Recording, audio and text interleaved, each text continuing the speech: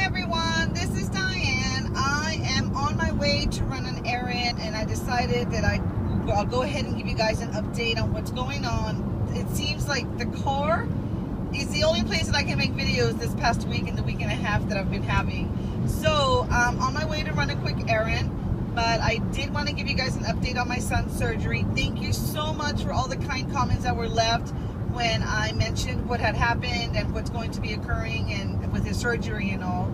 He did have his surgery on Monday. It was at 1.30 in the afternoon. Because the surgery was so late in the afternoon, he had to stay the night. So I stayed in the hospital with him. Oh my goodness, he, people get no rest at the hospital at night. None whatsoever. You know, they turn on the lights like if you've been wide awake and it's just poor people in the hospital. I feel so bad for them. And I know because about two or three years ago, I had my gallbladder removed and I had the worst time at the hospital. It's just so much better when you're at home. But anyway, um, he was discharged yesterday and uh, he was able to come home yesterday. We were home by 3 o'clock. And by the time I was able to fill his prescriptions, because that was a whole headache in itself, uh, his prescriptions were filled.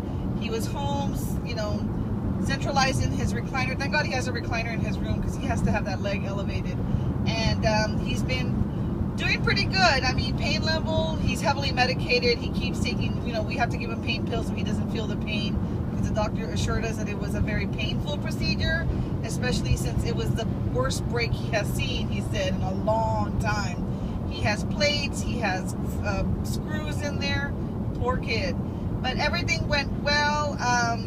The surgery was very nerve-wracking for me. Anytime anybody goes under anesthesia, it just gets so nerve-wracking. And then, you know, they cut cut you open, and is your body going to react well with what they put in there? So, thank God it's over because I was not feeling well. I was feeling sick, anxious, and thank God I'm able to make this video and give you guys a great update.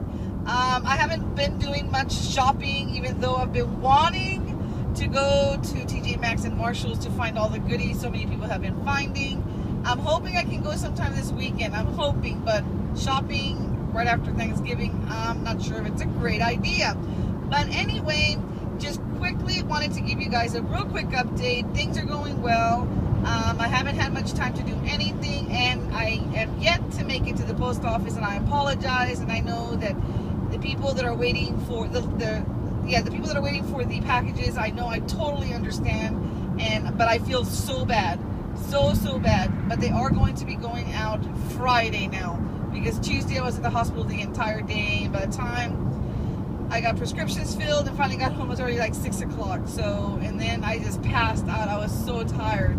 But packages will be going out Friday, ladies. A million apologies. You guys probably don't ever want to win anything from me again. But I'm usually not this bad. I promise. I, I'm pretty bad. I procrastinate, but not this bad. So a million apologies. And um, that's it, ladies. Just wanted to give you guys an update. And I am hoping that I can maybe stop in at TJ Maxx or Marshalls and uh, see what I can find there. Hopefully, my biggest thing is I want to find those, oh my goodness, beautiful wood veneers that people are finding.